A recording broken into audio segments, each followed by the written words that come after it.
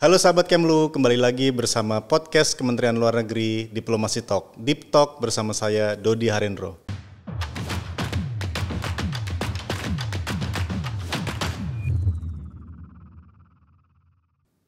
Sahabat Kemlu, episode kali ini akan membahas tentang upaya evakuasi WNI dari jalur Gaza. Kali ini kita kehadiran dua narasumber otoritatif, satu Direktur Pelindungan WNI, Pak Judah Nugraha. Assalamualaikum. Waalaikumsalam.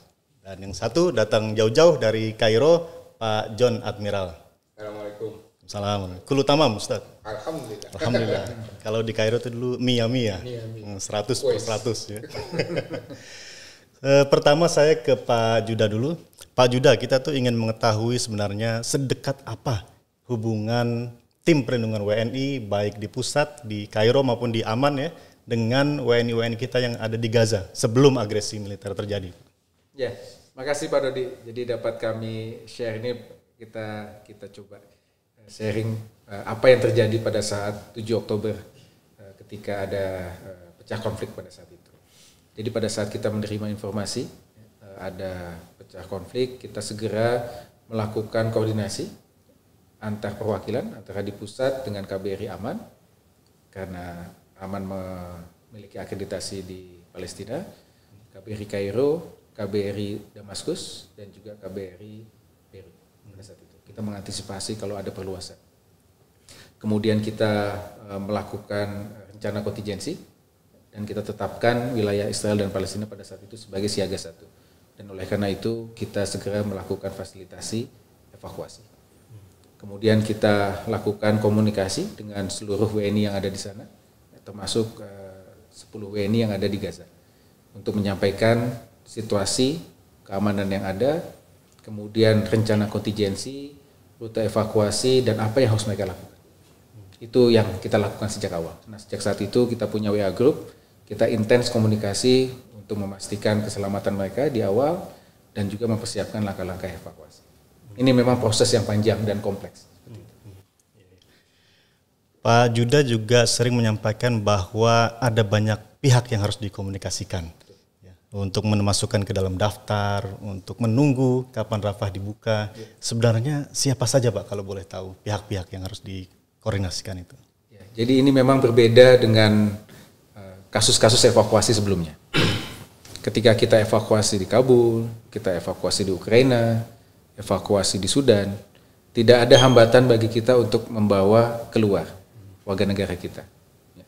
Tantangan utama adalah masalah keamanan.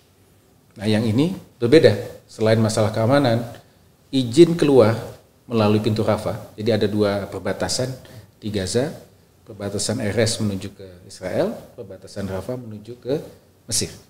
Ya, ini yang harus dikomunikasikan dengan pihak-pihak yang terkait di situ. Ya, tentunya dengan pihak Egypt, ya, dengan pihak eh, Israel dan juga pihak eh, yang ada di Palestina. Itu. Itu memang proses yang panjang dan itu juga dilalui oleh warga negara yang lain. Eh, ada sekitar 6.000 warga negara asing yang eh, ingin keluar pada saat itu. Nah, namun dalam batch pertama hanya 430. Ini memang menjadi eh, tantangan bagi kita untuk bisa memastikan warga negara kita masuk dalam daftar. Nah, dalam konteks ini berbagai macam komunikasi dilakukan ya, di level teknis maupun di level Ibu Menteri Luar Negeri. Ibu Menteri langsung. Ya, langsung berkomunikasi dengan Menlu Mesir, ya, Menlu Qatar, eh, dan juga berbagai macam apa, organisasi yang lain, termasuk Presiden Asia Asia. Baik, terima kasih Pak Yuda. Sekarang saya mau ke Pak John. Pak John, sebenarnya dari KBRI Kairo itu di Kairo ke El Aris ke Rafah itu seberapa jauh Pak John? Kalau dari segi jarak itu 297 km. Hmm, ya, ya. Namun jarak tempuh waktunya hampir 7 jam. Kita harus melewati banyak checkpoint, sekitar 15 checkpoint. 15. Nah, untuk mencapai ke Rafah tersebut, itu kita harus mengajukan izin dulu dari Kemlu Mesir. Lalu dari Kemlu Mesir nanti koordinasi dengan otoritas keamanan. Jadi ya memang 7 jam itu jarak waktu, namun karena setiap checkpoint itu bisa sampai 15 sampai 30 menit, itu membuat banyak makan waktu yang menunggu di checkpoint itu. Ya. Eh, Ustadz Hussein dan Bang Onim kan sering menceritakan bahwa mereka beberapa kali mencoba keluar tapi belum bisa dan namanya belum ada di daftar. Ketika teman-teman menjemput ke Rafah itu Apa ada tempat tinggal di sana? Tidak ada. Nah, Tidak ada, jadi harus bolak-balik ya. Jadi Kemlu Mesir itu memberikan permit 24 jam untuk setiap embassy berada di Rafah. Nah, sehingga kita setiap udah masuk kayak- sebenarnya kita termasuk negara pertama ya yang keluar nama listnya Oke. Indonesia. Itu nama itu adalah Bang Onim sekeluarga dan Pak Hussein. Namun karena Pak Hussein istri dan anaknya nggak ada, jadi Pak Hussein tidak eh, menunda untuk dievakuasi. Nah, hari pertama itu Bang Onim gagal untuk evakuasi karena perjalanan mereka nggak aman. Sehingga kita harus keluar dari Rafah ke kota Al Aris, itu sekitar 50 km dari Rafah. Kita keluar, saya mengajukan izin kembali ke Kemlu. Oke. WhatsApp aja ini uh, tim empat orang dengan kendaraan ini data ini akan besok kembali lagi ke Rafah. Kembali lagi. Nah tengah malam disampaikan bahwa by WhatsApp oke permit setujui. Nah, Jadi kita setiap pagi gitu. Setiap pagi kita datang lagi ke Rafah menunggu bangunin. Setiap pagi bolak-balik ya, Setiap setiap hari. Iya, iya, iya. Karena kita dan yang tadi disampaikan oleh Pak Direk Pak Yuda itu pintu Rafah itu bukanya tuh kita kadang buka Iya, tiba-tiba iya. tutup. Ya. Mhm. Pak John tadi juga menyampaikan nama keluarga Ustadz Hussein ini sempat tidak ada. Itu kenapa secara teknis, Pak? Sebenarnya kita nggak bisa ngasih jawaban bahkan ketika saya tanyakan ke pihak otoritas Mesir, karena kita kan menyampaikan semua nama-nama kan, jadi ya, yang keluar justru seperti itu. Nah, dia sebenarnya nama-nama ini bukan otoritas satu pihak. Tadi Pak Yuda sampaikan banyak pihak yang terlibat. Jadi kita pun nggak tahu, teman. Informasi yang kami terima itu sebenarnya evakuasi ini diizinkan tuh untuk warga negara asing, demi keluarga negaraan, Wigan Nah, dan yang keluarga. Mungkin kalau Pak Hussein ini nama istri dan anaknya ya kita juga karena anaknya kan masih eh, apa nggak ada nama Pak Husseinnya gitu. Kalau Oke. Pak Onim kan udah kan ada nama Pak Onimnya. Hmm, itu tuh dugaan paspornya, oke. Tapi setelah eh, Kemlu Pak Yuda melakukan upaya akhirnya di tanggal 10 10 namanya keluar. Nah, tanggal 10 nama Pak keluar perbatasan tutup. Hmm, 10, komplikasi lagi. ya. 11 tutup dua hari. Tapi yang tutup tuh dari segi rafahnya, dari segi Mesirnya buka. Jadi karena nggak ada yang masuk, ya udah nggak ada. Iya, iya, iya. iya. Kalau eh, kan ada Udkhulu Masir, insya Allah aman ya. Eh, sebenarnya warga di Gaza itu semua ingin keluar atau ada prinsip-prinsip yang harus kita ketahui? Warga maksudnya Warga Gaza di Palestina ingin keluar ke Rafah lewat Rafah. Kalau yang orang asing kalau saya baca dari media tuh memang mau keluar. Yang, yang punya dua Asia. keruganaan ya. Hmm. Oke oke. Tapi kalau mungkin warga Palestinanya sebagainya bisa ada yang bertahan di sana. Ya. Hmm, ya ya ya ya. Termasuk tiga yang masih di Mercy ya, Pak Dir ya. Kita punya skenario-skenario untuk eh, teman-teman Mas Farid, Mas eh, Mas Reza. Hmm. Ada skenario-skenario untuk ke depannya ketika ada perubahan situasi, Pak Dir. Ya. Memang kalau kita merujuk kepada Undang-Undang 3799 mengenai hubungan luar negeri, di situ disebutkan bahwa negara bertanggung jawab untuk mengevakuasi warga negara kita dalam situasi berbahaya ke lokasi yang aman. Itu yang kita lakukan. Namun memang proses evakuasi itu sendiri sifatnya voluntary. Jadi bukan mandatory evacuation. Oleh karena itu pilihan kita kembalikan kepada masing-masing pribadi. Kami sudah bicara langsung eh, teman-teman PWNI dengan tiga relawan Messi, kami juga sudah bicara dengan kantor Messi yang ada di Jakarta. Kami menyampaikan update situasinya, menyampaikan rencana evakuasi kita, rencana kontingensi kita, dan kami juga menyampaikan resiko-resiko yang dapat terjadi ketika memang memilih untuk tetap stay. Nah, setelah kita sampaikan, memang pilihan eh, terakhirnya tetap stay. Stay di sana ya. Seperti itu. Nah, namun tentu komunikasi terus kita jalin, ya. komunikasi terus kita jalin baik dengan Messi Jakarta maupun teman-teman relawan yang ada di eh, Gaza. Mereka tinggal dalam kompleks rumah sakit Indonesia. Ya, ya. Eh, dalam beberapa hari ini memang kami hilang kontak. Ya. Jadi tidak ada komunikasi. Kami sudah beberapa kali coba eh, WhatsApp, namun eh, hanya centang satu. Eh, kita duga itu karena eh, jaringan komunikasi.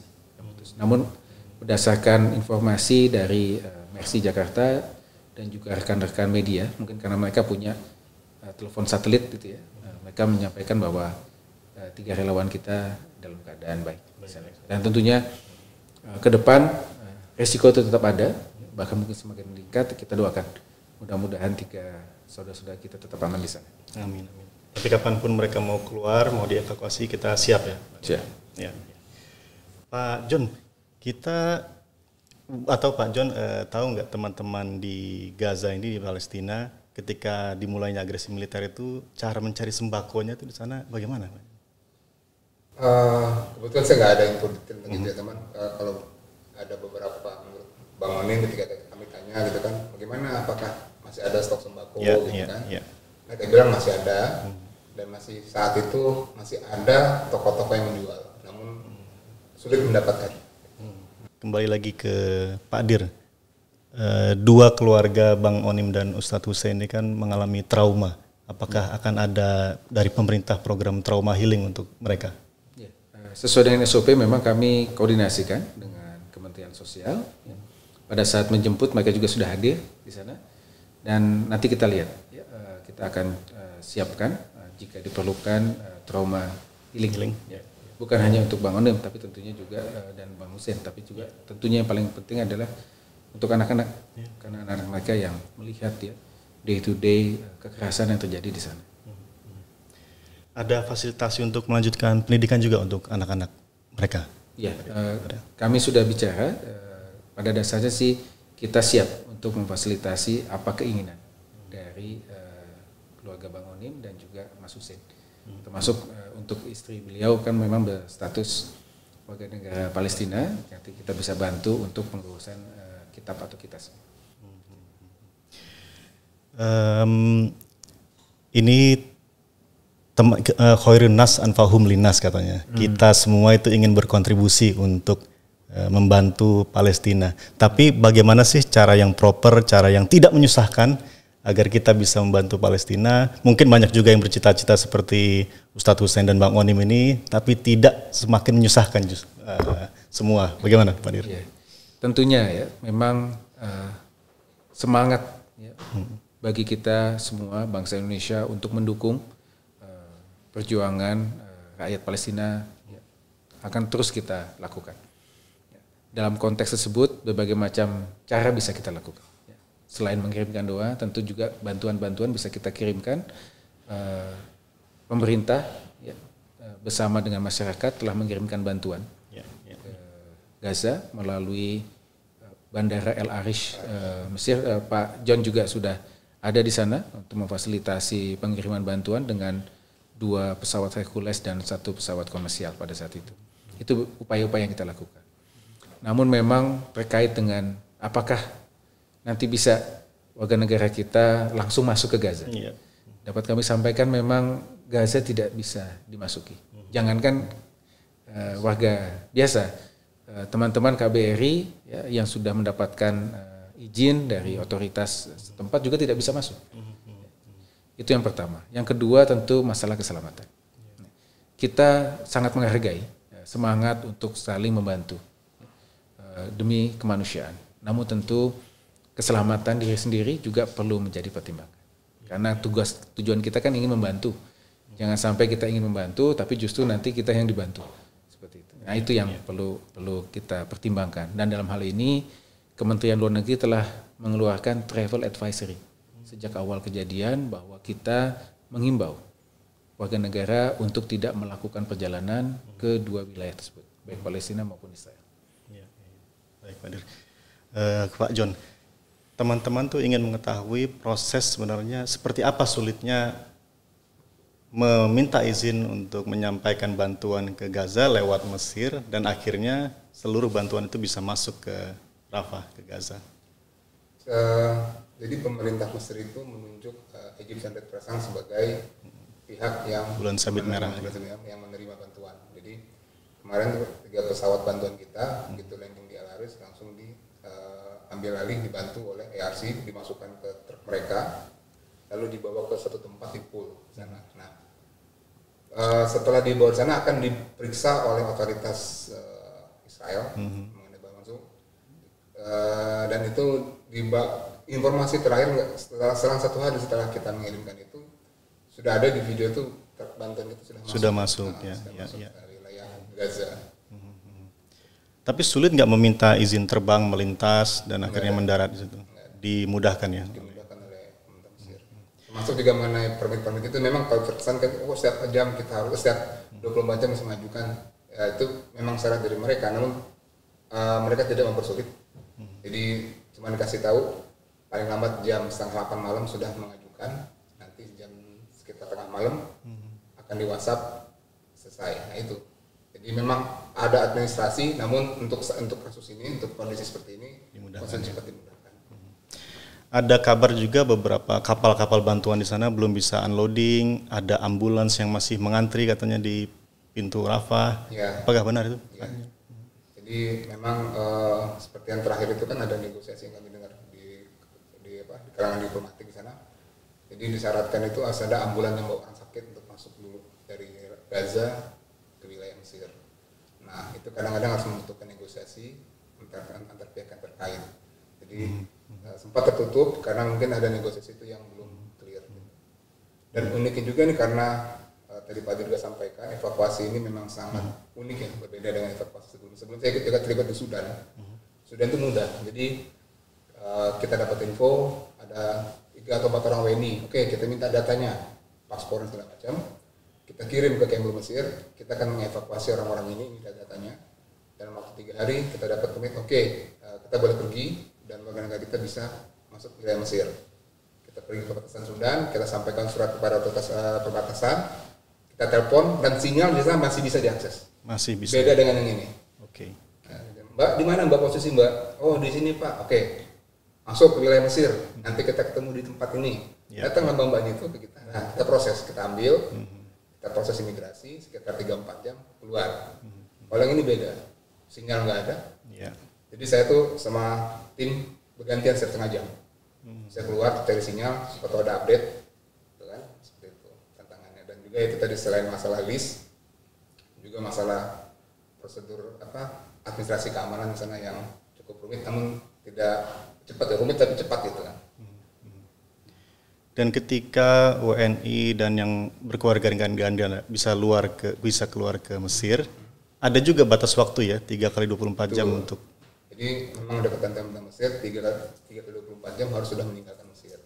Nah, situlah kita koordinasi dengan TNI agar segera diberikan tiket. Alhamdulillah kita uh, koordinasi komunikasi kami dengan pihak Kemlu Mesir Menangan itu cukup baik. Jadi setiap kita ada keluar saya WhatsApp, thank you ambassador, uh, our uh, national already with us. Okay, we will find the ticket within 70 hours. Nah, setelah kita dapat tiket, saya lapor lagi, ini akan pulang tanggal sekian, dan begitu sampai di bandara, saya foto, saya kirim lagi. Begitu sudah selesai, kita kirim nota diplomatik lagi ucapan terima kasih. Nah, jadi memang hubungan-hubungan baik itu yang tetap kita kita maintain dengan pihak. Iya, iya, iya. baik. Ini kami juga terima kasih buat Pak John dan tim. Ya, kami sangat memahami sekali sulitnya situasi di lapangan. ya. Dan ini situasinya bukan hanya tadi kesulitan terkait dengan masalah izin dan lain sebagainya, tapi juga nyawa nih. Karena beberapa kali kami eh, memantau ada serangan rudal di perbatasan Rafah. Di perbatasannya ya. Di perbatasan ya. Beberapa kali menjadi sasaran. Apa kita tidak tahu apakah itu disasar betul ataukah salah sasaran seperti itu ya.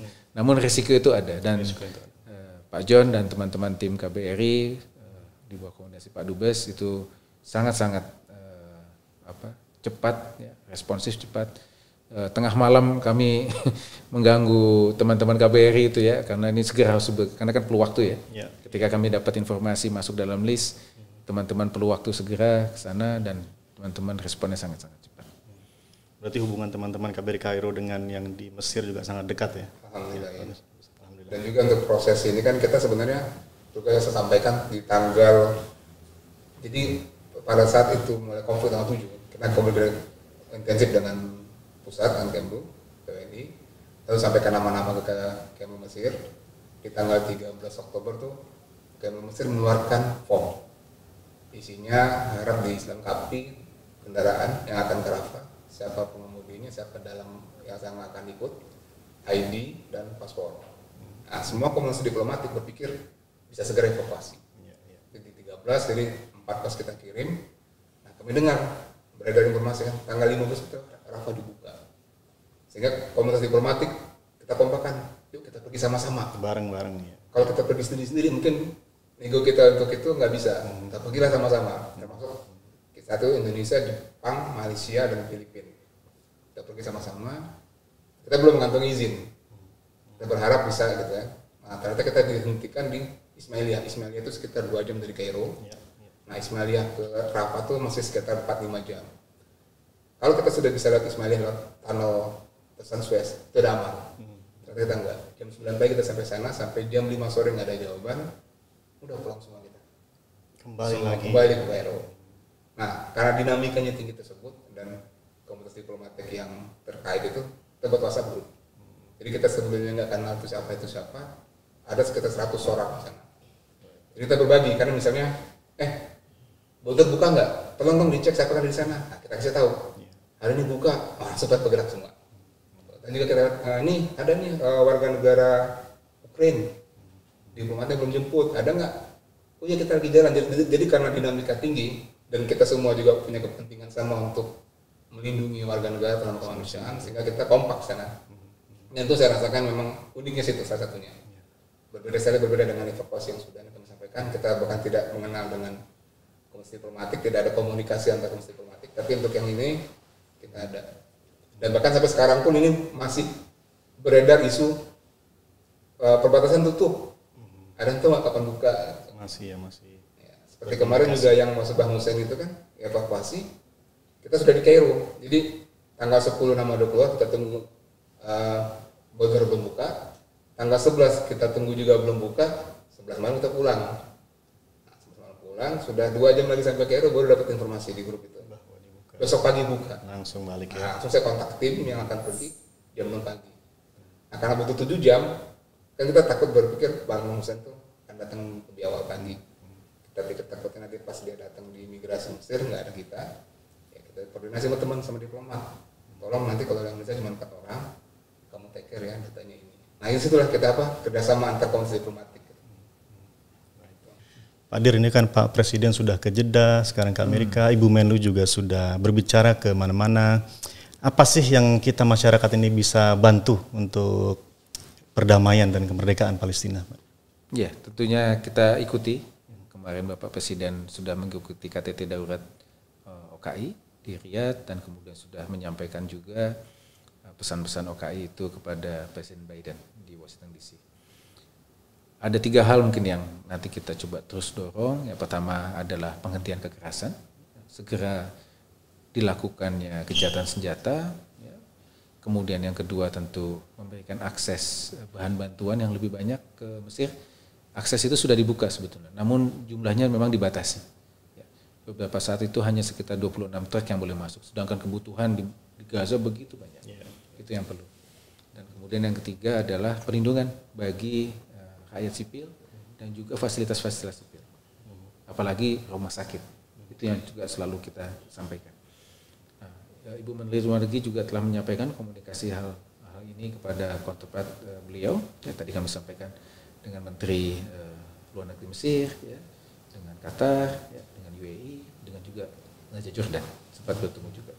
Kita upayakan berbagai macam eh, upaya diplomasi tersebut yang kita kita bisa lakukan. Nah tentunya doa dari masyarakat Indonesia juga sangat-sangat diperlukan. Terima kasih Pak Dir dan seluruh tim. Sama-sama Pak Dodi. Mohon doanya selalu karena kita masih punya ada tiga warga negara kita di sana yang memang memilih untuk di sana. Mudah-mudahan mereka diberikan keselamatan. Amin, amin. Kita pantau terus ya. Siap. Terima kasih Pak John. Semoga sehat-sehat semua teman-teman di Kairo.